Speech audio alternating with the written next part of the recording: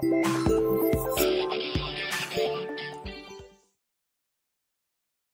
let's take this question. Two point charges Q and QB are positioned at A and B. तो मतलब हमें दिया है कि यहाँ एक पॉइंट चार्ज है और एक यहाँ पॉइंट चार्ज है नेक्स्ट हमें दिया है the field to the right of charge Q B on the line that passes through two charges varies according to the law that is represented in the figure मतलब ये जो हमें एक diagram जैसा फिगर दिया है, उसको हमारा इलेक्ट्रिक फ़ील्ड का डायग्राम है। तो हमारी इलेक्ट्रिक फ़ील्ड हम देख सकते हैं कि ये पॉइंट के बाद हमारी इलेक्ट्रिक फ़ील्ड पॉजिटिव हो रही है और ये पॉइंट के पहले हमारी इलेक्ट्रिक फ़ील्ड नेगेटिव हो रही है। अब आगे हम देखते हैं क्या लिखा है। The field strength is assumed to be positive for positive X direction मतलब हमें दिया है कि जब इलेक्ट्रिक फ़ील्ड इस डायरेक्शन में होगी तो वो पॉजिटिव होगी और इस डायरेक्शन में होगी तो वो नेगेटिव होगी।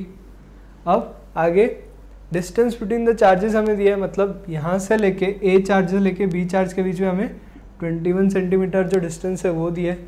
अब हमें फाइंड क्या करना है? साइंस ऑफ़ चार्ज फाइंड करना है क्यू एन क्यू बी तो अभी हम अगर देखें तो Q A and Q B की क्या पॉसिबिलिटीज़ हो सकती है? या तो क्यू ए पॉजिटिव हो क्यू बी पॉजिटिव हो क्यू ए पॉजिटिव हो क्यू बी नेगेटिव हो Q A negative Q B negative और Q A negative Q B positive अब इन सबको हम एनालाइज करते हैं एक एक करके। अगर क्यू ए पॉजिटिव और क्यू बी पॉजिटिव है तो इलेक्ट्रिक फ़ील्ड कभी नेगेटिव तो जाएगी ही नहीं। क्योंकि यहाँ से इस डायरेक्शन में और यहाँ से भी इस डायरेक्शन में। तो हमेशा पॉजिटिव पॉजिटिव का जो पॉसिबिलिटी है वो कैंसिल हो जाती है, क्योंकि हमारी इलेक्ट्रिक फ़ील्ड 24 के पहले नेगेटिव है। अब नेक्स्ट क्यू ए पॉजिटिव और क्यू बी नेगेटिव अब क्यू ए पॉजिटिव है और क्यू बी नेगेटिव है तो इस पॉइंट के बाद जो क्यू ए का इफ़ेक्ट होगा, वो डिक्रीज होता जाएगा और क्यू बी का इंक्रीज होता जाएगा, लेकिन क्यू बी नेगेटिव है और हमारी इलेक्ट्रिक फ़ील्ड पॉजिटिव तो ये पॉसिबिलिटी भी कैंसिल आउट हो जाती है। अब क्यू ए नेगेटिव और क्यू बी नेगेटिव दोनों नेगेटिव नहीं हो सकते क्योंकि हमारी इलेक्ट्रिक फ़ील्ड 24 के बाद पॉजिटिव हो रही है तो ये पॉसिबिलिटी भी कैंसिल आउट हो जाती है। तो हमारे पास सिर्फ़ बचती है ये पॉसिबिलिटी अब हम देखते हैं कि अगर क्यू ए नेगेटिव और क्यू बी पॉजिटिव है तो क्यू ए अगर इतना बड़ा है कि वो इनिशियली इतने डिस्टेंस तक जो 24 तक का डिस्टेंस है, उसमें क्यूबी के इफ़ेक्ट को नलीफाई करके इलेक्ट्रिक फ़ील्ड को नेगेटिव दे सकता है। और जैसे ही हम 24 के आगे बढ़ेंगे तो हमारा क्यूए का जो इलेक्ट्रिक फ़ील्ड का जो स्ट्रेंथ है, वो डिक्रीज होता जाएगा। और क्यूबी का है, वो रिस्पेक्टिवली रिस्पेक्टिवली ए के इंक्रीज होगा। ए के रिस्पेक्ट में इंक्रीज होगा तो बी अगर पॉजिटिव है तो इलेक्ट्रिक फ़ील्ड पॉजिटिव और ए नेगेटिव है तो इनिशियल स्टेजेस में इलेक्ट्रिक फ़ील्ड नेगेटिव तो हम इसको मान सकते हैं। तो हमारा आंसर हो जाएगा क्यू ए क्या हो जाएगा? क्यू ए नेगेटिव और क्यू बी पॉजिटिव अभी आप क्वेश्चन कॉपी कर लो, हम सोल्यूशन देखते हैं। ना लेट्स सॉल्व दी क्वेश्चन तो सोल्यूशन सोल्यूशन हमारे पास क्या बन जाएगा? सबसे पहले हमने फ़र्स्ट का सोल्यूशन देखा। तो उसमें हमें पूछा था साइन ऑफ़ चार्जेस तो हमने देखा उसमें कि क्यू ए हमारा नेगेटिव है और क्यू बी पॉजिटिव है। ठीक है। तो अब हम सेकंड क्वेश्चन देखते हैं। सेकंड क्वेश्चन था हमारे पास रेशियो ऑफ़ चार्जेस अब रेशियो ऑफ़ चार्जेस कैसे मिलेगी हमें? सबसे पहले हम देख लेते हैं कि हमारे पास इलेक्ट्रिक फ़ील्ड का मैग्नीट्यूड एक जगह पे ज़ीरो हो रहा है और वो पॉइंट का हमें कोऑर्डिनेट दिया है। तो वो है ट्वेंटी फोर तो उसका हमारे क्यूए से डिस्टेंस है ट्वेंटी फोर और क्यूबी से डिस्टेंस है थ्री तो अब हम इसको क्या लिख सकते हैं? K Q A upon twenty four into ten to the power minus two square plus K Q B upon three into ten to the power minus two square ये हमारा आर बी और ये हमारा आर ए है। तो अब electric field तो zero है तो हम इसको क्या लिख सकते हैं? K Q A upon twenty four into ten to the power minus two square is equal to minus K Q B upon three into ten to the power minus two square अब ये ten to the power minus two तो cancel out हो जाएगा, दोनों side है। तो हम इससे क्या लिख सकते हैं? और ये के भी कैंसिल हो जाएगा। तो हम इससे क्या लिख सकते हैं? Q A upon Q B तो वो क्या हो जाएगा हमारे पास? Twenty four square upon three square. Twenty four square upon three square. और ये एक नेगेटिव के साइन साथ आएगा। तो इससे हम लिख सकते हैं कि हमारा Q A upon Q B कितना हो जाएगा? Is equal to minus twenty four into twenty four upon three into three three से ट्वेंटी फोर कैंसिल एट यहाँ से ट्वेंटी फोर कैंसिल एट तो हम क्या लिख सकते हैं? Is equal to minus sixty four तो हमारा रेशियो इज़ इक्वल टू क्या आ गया? Q A upon Q B is equal to minus sixty four ये हमारा सेकेंड क्वेश्चन का सल्यूशन हो जाएगा। Now let's take third question तो थर्ड क्वेश्चन में हमें क्या पूछा था? कि जो हमारी मैक्सिमम इलेक्ट्रिक फ़ील्ड है, उसका एक्स कोऑर्डिनेट हमें पूछा है। तो हम मान लेते हैं कि ये इस क्यू बी चार्ज से कुछ एक्स डिस्टेंस पे है। ठीक है तो हम क्या लिख सकते हैं? इलेक्ट्रिक फ़ील्ड यहाँ मैक्सिमम है। Is equal to K Q A upon twenty one plus X whole square plus K Q B upon X square अब इलेक्ट्रिक फ़ील्ड मैक्सिमम है तो हम क्या लिख सकते हैं? D upon D X is equal to zero हो जाएगा। तो हम इसका डिफ्रेंशिएशन कर लेते हैं। तो ये आ जाएगा K Q A twenty one plus X raise to power minus one by two का क्या होगा? Minus two into twenty one plus X raise to power minus three plus Q A Q B उसका क्या हो जाएगा? Minus two into X raise to power minus three ठीक है? अब इन दोनों का addition that is equal to zero तो हम इससे के कैंसिल आउट कर सकते हैं कॉमन है। माइनस टू भी कैंसिल आउट कर सकते हैं कॉमन है। तो हमारे पास क्या आ जाएगा? Q A upon twenty one plus X whole cube plus Q B upon X cube is equal to zero तो हम इसे फर्दर क्या लिख सकते हैं? Q A upon twenty one plus X whole cube is equal to minus Q B upon X cube तब Q A upon minus Q B is equal to twenty one plus X upon X whole cube अब इसकी value कितनी है? Minus sixty four जो हम यहाँ से देख सकते हैं। तो हम इसको सब्सटीट्यूट कर लेते हैं। तो हमारे पास क्या आ जाएगा? Twenty one plus X upon X whole cube is equal to sixty four minus sixty four के साथ माइनस हमने मल्टीप्लाई किया। तो हमारे पास आ जाएगा twenty one plus X upon X is equal to sixty four raise to power one by three क्या होगा? फोर तो हम बोल सकते हैं twenty one plus X is equal to four X तो हमारे पास क्या आ जाएगा? Three X is equal to twenty one X is equal to seven centimetre तो ये हमारा डिस्टेंस किसके बराबर हो जाएगा? ये हमारा डिस्टेंस सेवन सेंटीमीटर के बराबर हो जाएगा। तो हम क्या लिख सकते हैं? Twenty four plus seven is twenty eight तो ये हमारा कोऑर्डिनेट हो जाएगा ट्वेंटी एट कॉमा ज़ीरो तो हम थर्ड का क्या लिख सकते हैं कि कोऑर्डिनेट जो हमें पूछा है, वो हम क्या लिख सकते हैं? ट्वेंटी एट कॉमा ज़ीरो तो ये हमारा आंसर हो जाएगा। Now let's take this question a charge Kock ball of mass M is suspended on a light string in presence of uniform electric field उसको हमें दिया है कितना है? A I plus B J cap as shown in figure A and B are positive numbers the ball is in equilibrium at an angle theta तो हमें find क्या करना है? टेंशन इन द स्ट्रिंग और चार्ज ऑन द बॉल तो हम सबसे पहले बॉल का एफ़ देख लेते हैं। बॉल का एफ़ कैसा होगा? नीचे लग रहा होगा एक एमजी अब ई e यहाँ पे है तो यहाँ पे क्या लग रहा होगा? Q इंटू ई का एक्स कंपोनेंट लग रहा होगा। और ऊपर की बाजू लग रहा होगा Q इंटू ई का y कंपोनेंट लग रहा होगा। अब स्ट्रिंग कुछ इस डायरेक्शन में तो इसके अक्रॉस हमारे पास टेंशन लग रहा होगा। तो टेंशन का जो ए कंपोनेंट होगा, उसको हम लिख सकते हैं टी साइन थीटा और जो वर्टिकल कंपोनेंट होगा, उसको हम लिख सकते हैं टी कॉस थीटा तो हम हम इक्वेशंस को लिख लेते हैं तो हमारे पास क्या आ जाएगा? Q into E Y plus T cos theta is equal to M G ये फ़र्स्ट इक्वेशन आ गई और सेकेंड इक्वेशन हमारे पास आ जाएगी Q into E X is equal to T sine of theta तो हम इससे टी की वैल्यू निकाल सकते हैं। टी क्या हो जाएगा?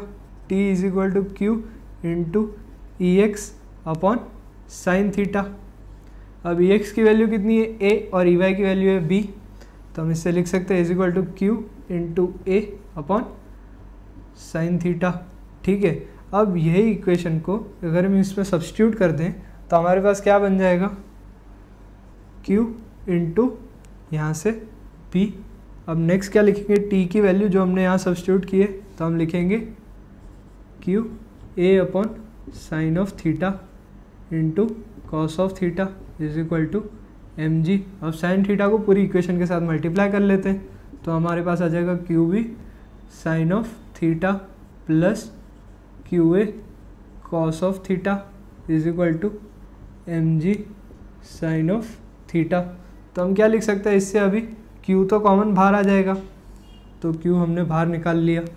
इनटू हमारे पास आ जाएगा B sine of theta plus A cos of theta is equal to M G sine of theta अब हमें थीटा गिवन है मास भी गिवन है ए एंड बी भी गिवन है। तो हमारे पास डायरेक्ट क्यू की इक्वेशन ही बन गई।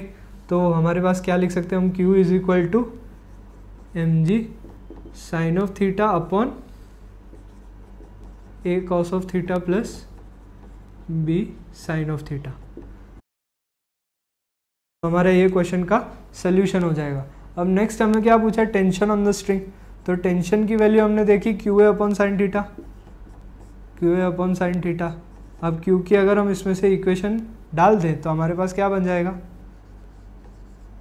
M G sine of theta into A upon sine of theta upon A cos theta plus B sine of theta ठीक है? तो अब इसमें से साइन थीटा कैंसिल आउट हो जाएगा। तो हम इसकी वैल्यू क्या लिख सकते हैं? M G A upon A cos of theta plus B sine of theta तो ये हमारा सोल्यूशन बन जाएगा। Now let's take this question two uniformly charged rods with charge density lambda 1 and lambda 2 are perpendicular to each other and kept at a distance a. Calculate the force between them.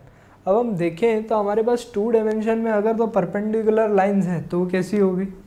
ऐसी कुछ perpendicular lines हैं। तो इनका तो intersection point है तो ये लो इन, एक डिस्टेंस पे नहीं है। तो अगर हमें एक डिस्टेंस पे चाहिए तो ये डेफिनेटली हमें थर्ड डायमेंशन में जाना पड़ेगा। तो हम मान लेते हैं एक इन्फाइनेटली लॉन्ग रॉड है, जो जेड एक्सिस के अक्रॉस है, और एक रॉन्ग रॉड मान लेते हैं हम एक एक्स एक्सिस के अक्रॉस है, जो इन्फाइनेटली लॉन्ग है। हम मान लेते हैं कि ये रॉड पे चार डेंसिटी है लेमड़ा वन और इस पर चार डेंसिटी है लेमड़ा टू इन दोनों के बीच का डिस्टेंस क्या है? ए ठीक है तो अब हम इस पर फोर्स कैलकुलेट करना है। तो फोर्स कैलकुलेट करने से पहले हमें इन दोनों के बीच में इलेक्ट्रिक फ़ील्ड कैलकुलेट करनी पड़ेगी। अब लॉन्ग रॉड है तो इसकी इलेक्ट्रिक फ़ील्ड अगर हम इस पॉइंट पे देखें, जो एट अ डिस्टेंस एक्स है, और इसकी लेंथ कितनी है डी एक्स मान लेते हैं, ठीक है? तो उस पॉइंट पे हमारे पास electric field due to Z axis वाली रॉड की वजह से क्या आएगी? Two K lambda one upon R distance अब आर इन दोनों के बीच का डिस्टेंस है? इन दोनों के बीच में डिस्टेंस कितना है? ये ए है, ये एक्स है, दोनों परपेंडिकुलर है। तो हमारे पास क्या बन जाएगा ये? Root over A square plus X square बन जाएगा। ठीक है? तो हम लिख सकते हैं इंटपॉन root over A square plus X square यहाँ हमारे पास इलेक्ट्रिक फ़ील्ड की वैल्यू आ गई। अब फोर्स क्या होता है? फोर्स होता है Q into E is equal to हम लिख सकते हैं कि Q E cos of theta अब क्यू की वैल्यू क्या होगी? अब ये इसकी लेंथ है डी एक्स तो हम इसको लिख सकते हैं कि D Q is equal to lambda two into D X ठीक है? तो हम फोर्स कितना लिख सकते हैं? D F is equal to D Q into E into cos of theta अब डी क्यू की वैल्यू तो हमें पता चल गई तो वो भी सब्सिट्यूट कर लेते हैं। और ई e की वैल्यू तो हमने पहले ही कैलकुलेट की, वो भी सब्सिट्यूट कर लेते हैं। तो ये आ जाएगा lambda two into D X into two K lambda one upon root over A square plus X square into cos of theta ये हमारे पास डी एफ़ आ गया। तो अब हम इसको इंटीग्रेट कर देते हैं। तो हम इंटीग्रेट कर देते हैं डी एफ़ को। उसकी लिमिट कहाँ से कहाँ होगी? माइनस इन्फिनिटी से प्लस इन्फिनिटी क्योंकि जो हमारी एक्स की जो लेंथ है, वो माइनस इन्फिनिटी तक जा रही है और प्लस इन्फिनिटी तक जा रही है। हमारी इन्फाइनेटली लॉन्ग रॉड है। तो हम इसमें क्या बोल सकते हैं? Is equal to lambda two two K lambda one upon root over A square plus X square into cos of theta into D X अब कॉस थीटा की वैल्यू क्या होगी? अब इलेक्ट्रिक फ़ील्ड कुछ इस डायरेक्शन में लग रही है, ठीक है? तो अगर हम ये मान लें कि ये एंगल थीटा है तो हमारे पास कॉस थीटा क्या हो जाएगा? A upon root over A square plus X square तो हम इसको क्या लिख सकते हैं? माइनस इन्फिनिटी से infinity two K lambda one lambda two upon root over A square plus X square into cos of theta की वैल्यू हमने कैलकुलेट की वो होगी A root over A square plus X square into D X ठीक है? तो अब ये जो वैल्यू बनी ये तो डी एक्स के ऊपर डिपेंड ही नहीं करती है तो एक कांस्टेंट है तो हम इसको डायरेक्टली बाहर लिख सकते हैं। तो हम देख सकते हैं कि हमारे पास डी एफ़ की जो वैल्यू बन गई, वो बन गई integral two K lambda one lambda two A upon A square plus X square into D X और इसकी रेंज कितनी है? माइनस इन्फिनिटी से इन्फिनिटी अब ये वैल्यू तो हमने देखा कि कांस्टेंट है तो हम इससे क्या लिख सकते हैं? Two K lambda one lambda two A integral minus infinity से infinity D X upon A square plus X square तो अब हम एज्यूम करते हैं कि हमारे पास x is equal to A tan theta है अगर तो हमारे पास डी एक्स कितना हो जाएगा?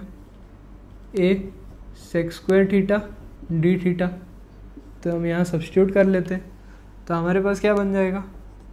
Two K lambda one lambda two A into integral minus infinity से इन्फिनिटी डी एक्स में हमने डाल दिया A sec square theta D theta अब नीचे ए स्क्वायर और ये ए टेन थीटा का स्क्वायर तो A square common one plus tan square theta हम डायरेक्टली लिख लेते हैं।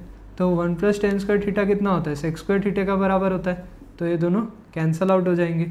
अब ये ए के साथ ए के यहाँ से और ए के साथ ये ए कैंसल आउट हो जाएगा। तो हमारे पास अभी इससे क्या बचता है? Two K lambda one, lambda two, integral, D theta, ठीक है?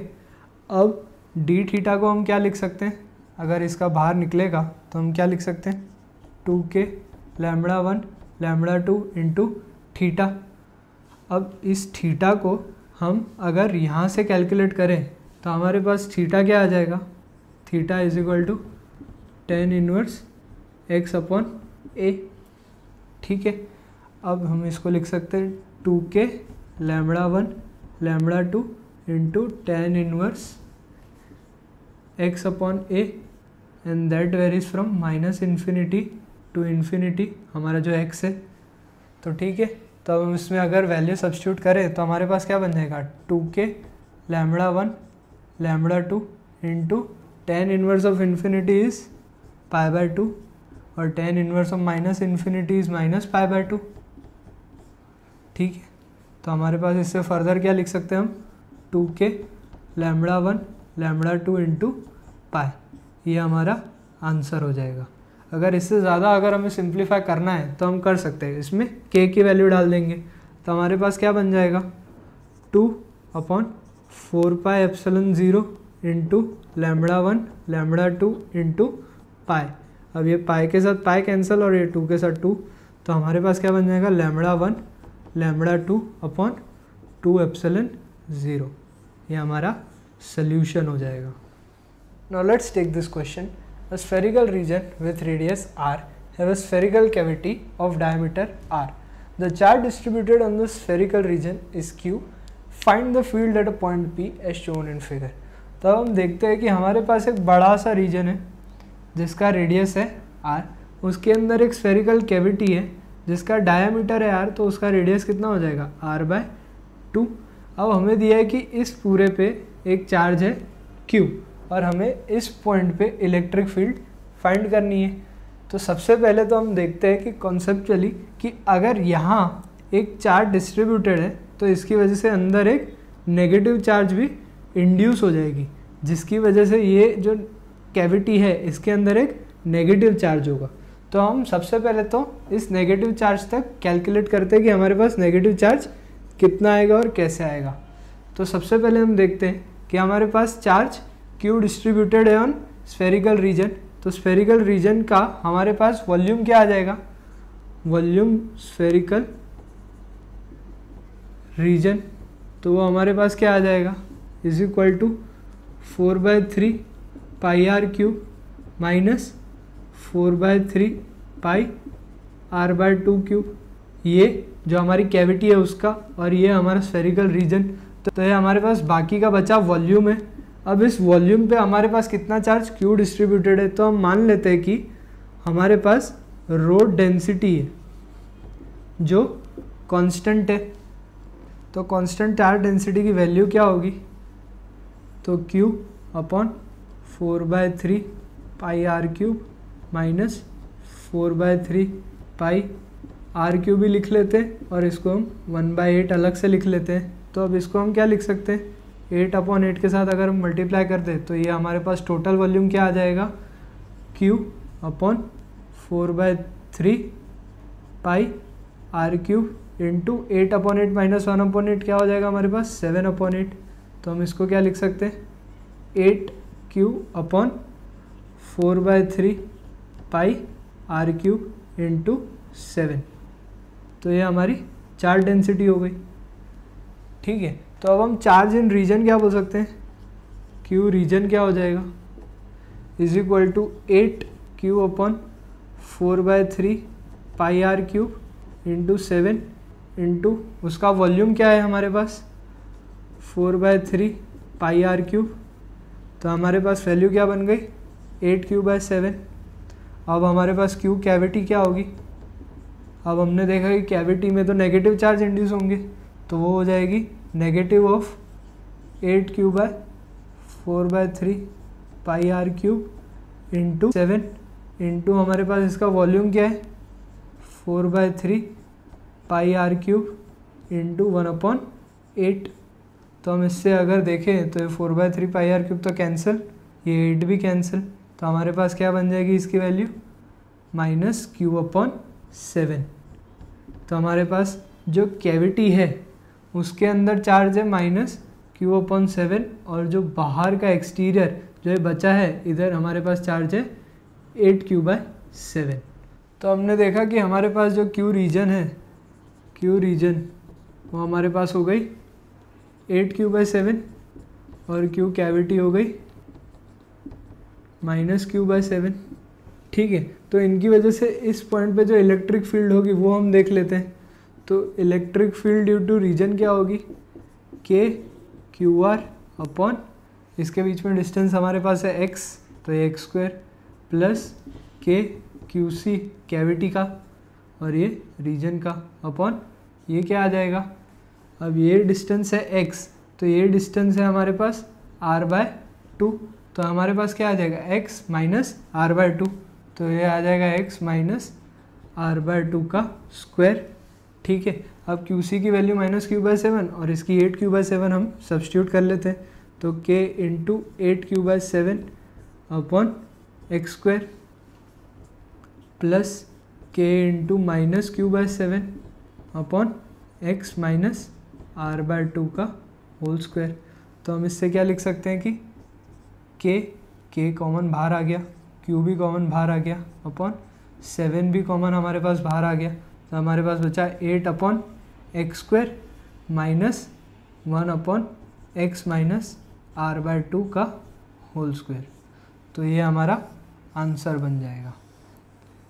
कभी कभी ऑप्शन में हमारे पास एट भी कॉमन निकाल के दिया होता है। तो ये हमारे पास बन जाएगा eight k q upon seven into one upon x square minus one upon eight into x minus R by two का होल स्क्वायर हम ऐसा भी आंसर लिख सकते हैं। तो अब हमने इलेक्ट्रिक चार्ज और इलेक्ट्रिक फ़ील्ड जो हमारा फ़र्स्ट चैप्टर है ग्रेड ट्वेल्व का, वो हमने फिनिश किया है। नेक्स्ट हम देखेंगे इलेक्ट्रिक पोटेंशियल के बारे में। अब इलेक्ट्रिक चार्ज और इलेक्ट्रिक फ़ील्ड के मैंने हर वेराइटी ऑफ़ सम तो कर दिए लेकिन आपको भी खुद से अपने यहाँ बैठ के इन सम्स की प्रैक्टिस करनी है और इनसे रिलेटेड जितने भी सम उनकी प्रैक्टिस करनी है। तो इसके लिए मैं रिकमेंड करूँगा कि आपके पास अगर जो भी टेक्स्ट बुक है उस टेक्स्ट बुक को लीजिए और सॉल्व कीजिए ताकि आप उन प्रॉब्लम्स को खुद अटेम्प्ट करने को सीख सकें। So,